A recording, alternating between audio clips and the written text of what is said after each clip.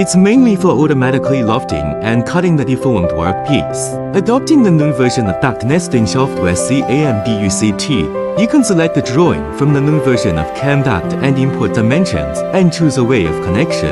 Then the software will start calculating, composing, jacking, and cutting automatically according to your requirements.